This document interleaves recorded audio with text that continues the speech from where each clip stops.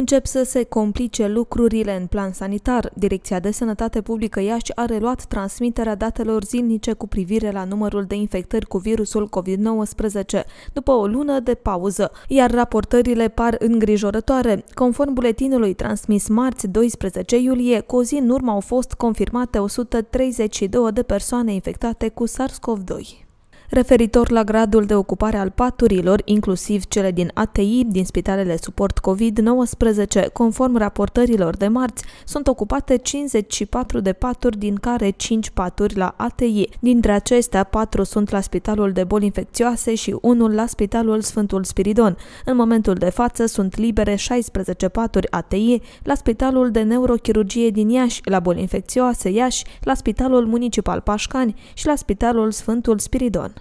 Conform datelor centralizate la nivelul Direcției de Sănătate Publică Iași, la data de marți 12 iulie, un număr de 343 de persoane se aflau în izolare.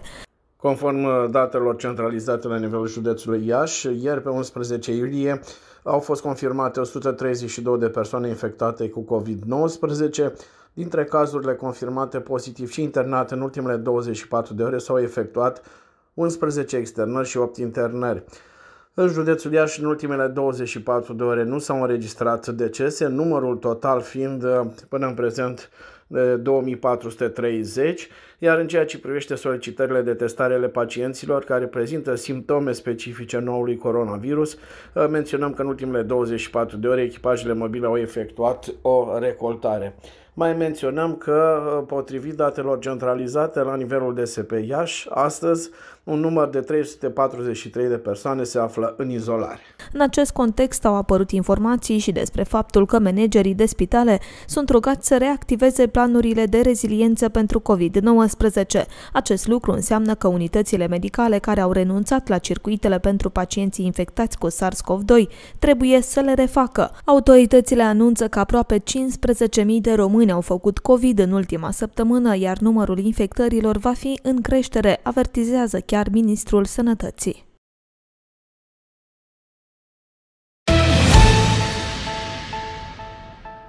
Furnizarea apei va fi întreruptă în zona de la municipiului Pașcani joi 14 iulie de la ora 8 dimineața până la ora estimată 16, anunță operatorul județean Apa Vital într-un comunicat de presă. Motivul este o avarie apărută la o conductă de distribuție a apei de pe strada Ștefan cel Mare, numărul 19 având în vedere identificarea unei avarii apărute la o conductă de distribuție a apei de pe strada Ștefan cel Mare numărul 19 din municipiul Pașcani, în vederea remedierii acesteia, în ziua de joi, 14 iulie 2022, începând cu ora 8 și până la ora estimată 16, Apa Vital va asista furnizarea apei potabile către utilizatorii din zona deal a municipiului Pașcani. Pășcănenii sunt informați că la reluarea furnizării este posibil ca apa să fie mai tulbure, situație în care robinetul trebuie lăsat deschis timp de câteva minute. La reluarea furnizării apei există posibilitatea ca pentru scurte perioade de timp să se înregistreze valori importante ale turbidității. Pentru depășirea acestei situații este indicat să se lase deschis un robinet timp de câteva minute pentru ca apa să revină la caracteristicile normale de potabilitate. Dacă situația persistă pentru un interval de timp semnificativ, vă rog să telefonați la call center-ul Apa Vital la numărul 0232 969, iar o echipă specializată se va deplasa în zona dumneavoastră pentru a soluționa problema sesizată în vederea evitării eventualelor efecte negative cauzate de lipsa apei. Apa Vital Iași recomandă utilizatorilor afectați să-și creeze rezerve de apă potabilă pentru perioada de întrerupere. Pentru informații suplimentare sau alte sesizări, utilizatorii pot suna la numărul de telefon 0232 969.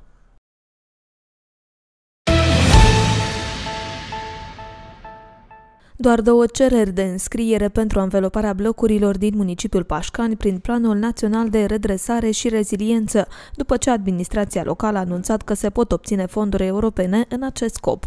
Viceprimarul Cristian Rățoi a precizat că Asociația Armonia a depus o cerere pentru blocul P1 de pe Alea Grădiniței, iar o persoană desemnată prin contract de mandat o altă cerere în numele locatarilor de la blocul C38, strada 1 decembrie, zona Gărie. Câte asociații s-au înscris la Pașcani pentru fonduri europene privind izolarea blocurilor prin programul PNRR Uh, numit uh, Valul Renovării, componenta numărul 5, pot să vă informez că până la acest moment uh, s-au înscris două blocuri, blocul P1, care are o asociație la Armonia, la da, Asociația Armonia, uh, blocul C38 uh, din zona Gării, unde uh, locatarii sunt reprezentați de o persoană care are un contract de mandat acordat 100% de către proprietarii blocului. Pot să vă mai spun că la acest moment, pentru cele două blocuri, s-a întocmit un referat pentru expertiza tehnică și auditul energetic al celor două clădiri.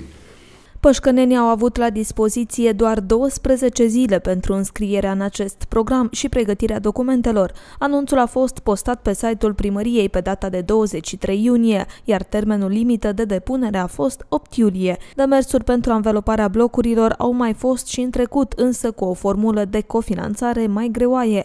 De această dată, municipalitatea propune un parteneriat cu asociațiile, prin care primăria să fie împuternicită să facă toate demersurile necesare și și să suporte cheltuielile neeligibile, bani care ar urma să fie recuperați de la locatari prin plata unei taxe de reabilitare termică pe o perioadă de 10 ani de zile. Un proiect de hotărâre în acest sens a fost discutat în grabă în ședința extraordinară, care a avut loc pe 20 iunie. Contractul de mandat se va încheia cu asociațiile de proprietari dacă măcar o treime din ei vor fi de acord sau cu reprezentantul de scară, dar în această situație este necesar acordul tuturor tuturor. La Pașcani sunt circa 134 de asociații de proprietari, iar restul scărilor de bloc au desemnați reprezentanți în relația cu furnizorii de servicii. Până acum au fost reabilitate termic cu fonduri publice doar două blocuri turn în timpul administrației Crăciunescu.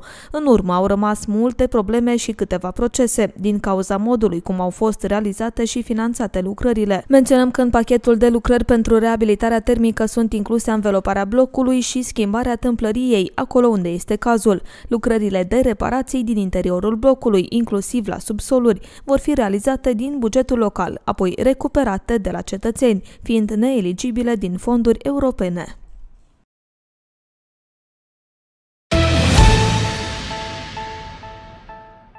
Legislativul local al municipiului Pașcane a aprobat în ultima ședință de Consiliu valoarea unui contract de finanțare din fonduri europene pentru școala gimnazială Gâștești. Este vorba despre suma de peste 332.000 de lei, bani prin proiectul achiziției echipamente medicale pentru sprijinul școlii în contextul pandemiei cu virusul COVID-19. Privind aprobarea valorii totale a contractului de finanțare numărul 496 din 23 a 3 2022, proiect achiziție echipamente medicale pentru sprijinirea școlii gimnaziale Gâștești Pașcani, în contextul pandemiei cu virusul COVID-19, cod Smith 144566. Inițiatorul proiectului de hotărâre primarul municipiului Pașcani. Avizele comisiilor? Juridic favorabil. Economic favorabil. Învățământ favorabil. Finanțarea a fost obținută de Unitatea de Învățământ în martie. Proiectul a fost depus în decembrie 2020 în plină pandemie, însă din cauza birocrației, finanțarea a venit abia la începutul acestui an. În cadrul acestui apel, Școala Gimnazială Găștești a depus, în calitate de lider, proiectul achiziției echipamente medicale pentru sprijinirea Școlii Gimnaziale Găștești Pașcani în contextul pandemiei cu virusul COVID, ca urmare a semnării contractului, suntem uh, fericiți beneficiari a acestei finanțări, o finanțare mare, spunem noi, în valoare de 322.194,55 lei. Uh, beneficiarii direcției ai proiectului vor fi elevii din școala gimnazială Gâștești și școala gimnazială Sodomeni, precum și membri ai personalului didactic și nedidactic din instituțiile menționate anterior. Uh, scopul proiectului este sprijinirea unității de învățământ uh, de stat pentru gestionarea situației de criză, prin asigurarea infrastructurii funcționale și a resurselor materiale indispensabile. Astfel, cu acești bani, școala ar trebui să cumpere peste 95.000 de măști, 9.200 de viziere, peste 31.000 de mănuși, 1.565 de litri de dezinfectanți de mâini și alte produse folosite în plină pandemie de COVID-19, a declarat directoarea școlii Monica Pleșcan. Dotarea grupurilor sanitare cu echipamente de dezinfectare, astfel încât să se asigure îndepărtarea agenților patogeni și reducerea riscului de infectare cu COVID-19. Proiectul prevede achiziția 20 de dispensere pentru săpun dezinfectant, dotarea sălilor de clasă cu echipamente de dezinfectare, astfel încât accesul elevilor în clasă să se facă în deplină siguranță din punct de vedere sanitar. Proiectul prevede achiziția a 26 de dispensere cu senzor pentru dezinfectanți. Asigurarea protecției personalului și elevilor școlii împotriva răspândirii epidemiei cu noul coronavirus. Pentru atingerea acestui obiectiv vor fi achiziționate materiale consumabile, însemnând măști, viziere, mănuși, combinezoane, dezinfectanți pentru mâini și suprafețe, necesare prevenirii răspândirii SARS-CoV-2. Ehm, ca și chiar descrierea uh, investiției, avem uh, cu număr, uh, aș putea să vă prezint, astfel, deci prin proiect se propune achiziționarea următoarelor echipamente și dispozitive medicale. Avem măști de protecție,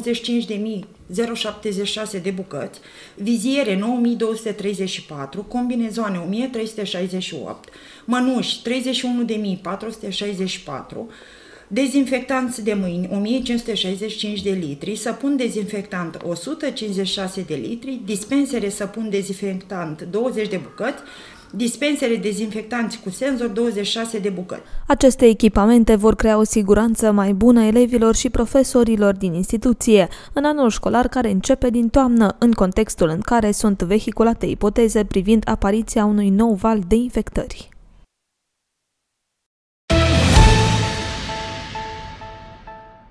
Persoanele care nu au reușit să se autorecenzeze în prima etapă sau nu pot primi acasă vizita recenzorului au posibilitatea să meargă la unul dintre punctele fixe de recenzare, amenajate în localitățile din județul Iași. Acestea au fost deschise în localitățile unde gradul de recenzare este scăzut, iar autoritățile speră ca prin o astfel de modalitate să vină în sprijinul oamenilor care nu au completat până acum chestionarul unic. Printre altele, puncte fixe au fost deschise în orașele Hârlău și Târgu Frumos și comuna Stolniceni-Prăjescu, la sediile primăriilor, cu program de funcționare de luni până vineri, între orele 8-16. Ele vor fi deschise până pe data de 17 iulie. Săptămâna trecută, gradul de recenzare în municipiul Pașcan și Târgu Frumos era de circa 72%, iar în Hârlău aproape de 50%. Recensământul nu este o acțiune voluntară, ci reglementată la nivel național și european. Cei care refuză să răspundă pot fi amendați cu sume de până la 3.000 de lei. Da, pentru municipiul uh, Pașcan, la data de 4 iulie 2022, gradul de recenzare este de 72%. Uh, înțelegând prin asta numărul de persoane recenzate și în etapa de autorecenzare și în etapa de teren, da, raportat la populația rezidentă estimată la 1 decembrie 2021. Deci pentru municipiul Pașcar avem 72%, pentru orașul Târgu Frumos 71%. O situație mai dificilă este în orașul Hârlău, unde gradul de recenzare este de aproape 50%. În următoarele zile, primăria ar urma să înființeze un punct fix unde oamenii vor putea merge să stea de vorbă cu recenzorii și să completeze formularul. La fel va fi și în alte localități unde procentajul este scăzut. Este o, o hotărâre a Comisiei Centrale uh, numărul 11 din 4 iulie, prin care se uh, dispune ca UAT-urile cu un risc scăzut de uh, recenzare uh, să aibă posibilitatea de a înființa puncte fixe. Așa uh, cum am fost în etapa de autorecenzare, acele centre de autorecenzare asistată. Acum avem punct fix de recenzare a populației, uh, cei care doresc uh, să meargă la aceste puncte fixe, care nu au fost găsiți acasă, care din anumite motive nu vor să deschidă uh, ușa și să uh, recenzeze un recenzor, să intre un recenzor în casă sau din diferite motive, pot acum, în ultima săptămână, să meargă la aceste puncte fixe, la sediile primăriei de regulă. Da? La primărie se înființează aceste puncte fixe să fie recenzați acolo. Recensământul nu este o acțiune voluntară, ci reglementată la nivel național și european. Cei care refuză să răspundă pot fi amendați cu sume de până la 3.000 de lei. În municipiul Pașcan deocamdată nu a fost dată nicio amendă, potrivit informațiilor oferite de autoritățile locale. Este o hotărâre a Comisiei Centrale privind uh, metodologia și uh, fluxul de uh, lucru pentru aplicarea amenzilor. La fel este în atribuția și responsabilitatea fiecărei UAT, fiecărei primării, să-și stabilească prin dispoziție care este fluxul și cine și cum se aplică amenda. Uh, regula este ca recenzorul de teren care primește refuzul expres al gospodăriei face sesizare scrisă la primărie și primăria uh, merge și aplică uh, amenda.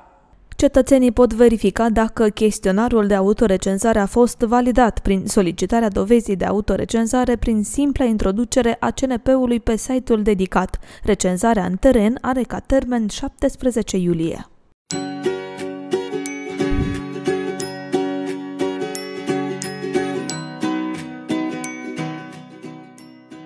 Cea de-a doua etapă a recensământului, care se desfășoară până pe 17 iulie, cei care nu au completat chestionarele online sau nu au completat corect vor fi vizitați la reședință de recenzori.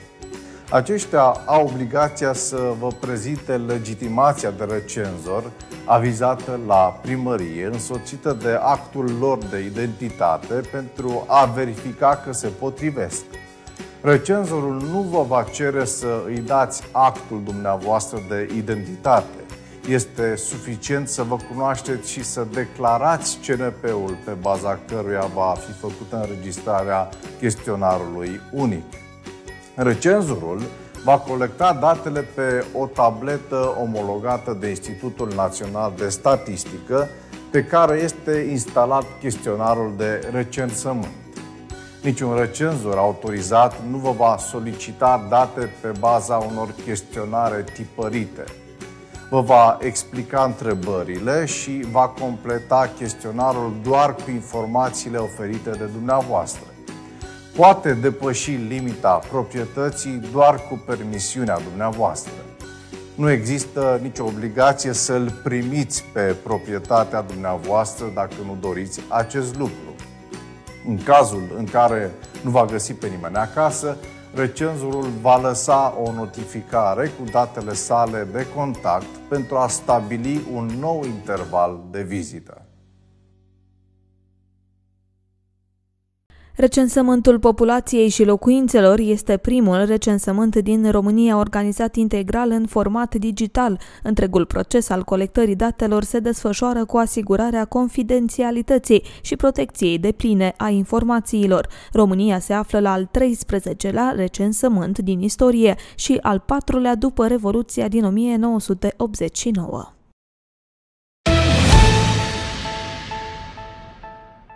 Săptămâna viitoare începe o campanie de colectare a deșeurilor electrice în municipiul Pașcani, în perioada 18-21 iulie. Pașcanenii sunt încurajați să se implice activ în protecția mediului, prin colectarea separată a deșeurilor electrice. Acțiunea este organizată de Ecotic, prima organizație a producătorilor și importatorilor de echipamente electrice și electronice din România, alături de primăria municipiului Pașcan și Adis Iași, în cadrul campaniei Orașe Curate. Ce interesat interesați au două variante de a scăpa de deșeurile electrice. Pot să le ducă personal la caravanele din cele două piețe agroalimentare, în zona Vale în perioada 18-19 iulie și în zona Deal în perioada 20-21 iulie. Altă variantă ar fi preluarea de la domiciliu, iar comenzile se pot face la numărul de telefon 0757 326 842. Colectarea de la domiciliu a deșeurilor electrice voluminoase se va realiza atât în Pașcani, cât și în suburbiile Sodomeni, Boșteni, Gâștești, Lunca sau Blăgești. Cantitatea minimă acceptată pentru preluările de la domiciliu este de 50 de kilograme. Pentru a încuraja inițiativa de reciclare, fiecare persoană care va preda deșeuri electrice va fi premiată.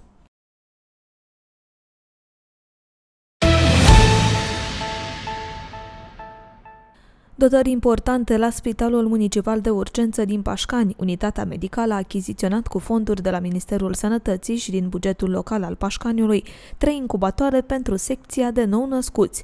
Două au ajuns deja și urmează și cel de-al treilea, cel târziu în luna august. Valoarea achiziției este de aproape 240.000 de lei, 90% cu fonduri de la minister și 10% contribuția locală. 2022 s-a incubatoare cu finanțare de la Ministerul Sănătății 90%, însemnând 209.000 de lei, iar de la Consiliul Local uh, o proporție de 10% aproximativ 25.000 de lei. Un total al acestor incubatoare uh, costând 234.000 de lei.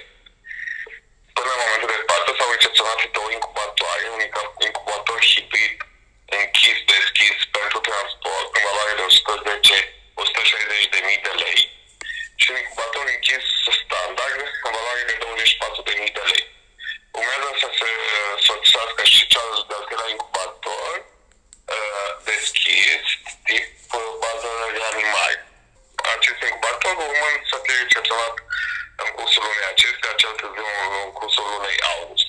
Aceste noi dotări sunt extrem de importante pentru Spitalul Pășcănean și pentru micuții care vin pe lume în instituția medicală. Nou-născuții prematuri sau cei care au diferite probleme de sănătate vor avea un mediu mai sigur în astfel de echipamente și vor beneficia de un transport în siguranță în caz de necesitate. Aceste dotări aduc o îmbunătățire extraordinară pentru mm, noi născuți, pentru cei bebeluși, mai ales cei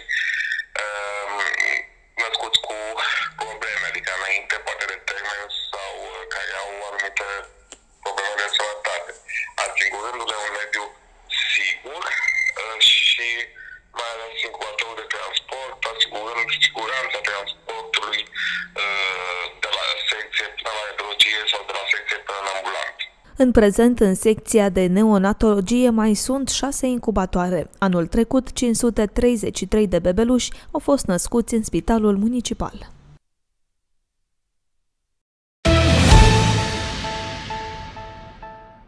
12 primării din județul Iași vor primi bani prin programul județean de dezvoltare economică socială pentru perioada 2021-2024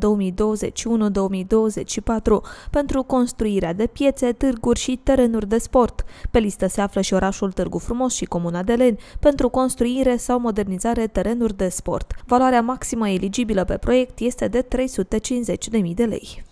Unul dintre obiectivele principale ale Consiliului Județean este de acela de a asigura o dezvoltare economică și socială uh, uniformă, de a stimula această dezvoltare la nivelul uh, comunităților. Instrumentul pe care plenul Consiliului Județean l-a uh, adoptat, acela al programului de dezvoltare economică socială a județului, prin care uh, Consiliul Județean finanțează autoritățile locale pentru a uh, dezvolta anumite facilități, în cazul de față pentru a dezvolta piețe și târguri și pentru a dezvolta baze sportive. Acest program a ajuns la un final. Echipa care uh, a evaluat proiectele depuse de, de comunitățile locale a stabilit un clasament și, practic, uh, în plenul din iulie al Consiliului Județean vom veni în fața Consiliului Județean Uh, pentru aprobarea uh, acestor proiecte și pentru acordarea uh, finanțării propuse de aproape 5 milioane de lei Pașcaniul nu se află pe lista proiectelor eligibile pentru piețe sau terenuri de sport. BIT TV a întrebat dacă autoritățile pășcănene au depus vreo documentație în acest sens, dar de la județ nu am primit niciun răspuns în acest sens. Lansarea apelului de proiecte se va face în fiecare an bugetar din perioada de derulare a programului până în 2024. Termenul de depunere a cererilor de finanțare pentru următorii ani este de 30 de zile calendaristice de, de la data lansării apelului de proiecte. Uh, constând în uh, finanțarea 5 uh, piețe și a 7 baze sportive din, din județul nostru. Credem că acesta este un prim pas și un semnal pe care Consiliul Județean îl dă către comunitățile locale, că dincolo de uh, încurajări venim cu o susținere concretă în a sprijini acele proiecte care pot ajuta comunitățile locale să se dezvolte armonios. Apelul de proiecte aferent fiecărui an se încheie în momentul în care valoarea acumulată a cererilor de finanțare acoperă un procent de 150% din valoarea totală eligibilă alocată per an per domeniu specific de activitate, per componentă eligibilă, dar nu mai târziu de 30 de zile calendaristice de la data lansării apelului de proiecte. Prin acest program, Consiliul Județean Iași își propune ca până în 2024 să modernizeze cel puțin 20 de târguri sau piețe și 40 de terenuri de sport.